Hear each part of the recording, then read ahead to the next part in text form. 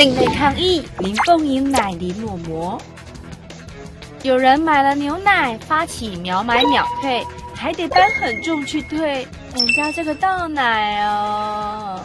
新竹这个二十五岁摄影师找来好身材的裸女，牛奶铃声想表达。该死，把那产品拿开！我不要那个产品。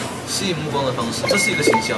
要说它是艺术吗？并不是。对于近来林凤营降价就买气，他也有不同的意见。就算你买一送十，我不喜欢你，我也不要买你了。这是牛奶物化了女性，还是一个浪费的概念啊？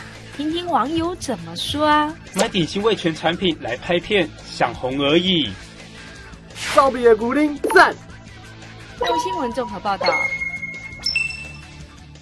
戴森温馨提示：今日天气转凉，戴森 J Focus 喷射控流技术，快速均匀温暖全房。